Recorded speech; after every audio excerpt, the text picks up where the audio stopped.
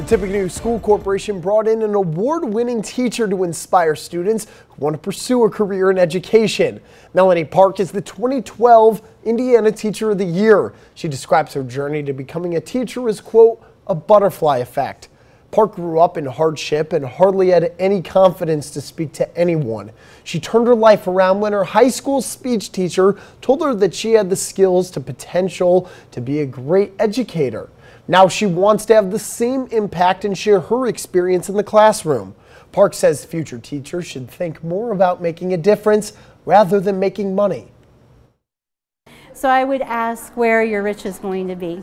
And so if it's in doing something you love and the understanding that you're going to impact people, then it's absolutely the right profession for you because you cannot put a price tag on the value of what you will do as a teacher.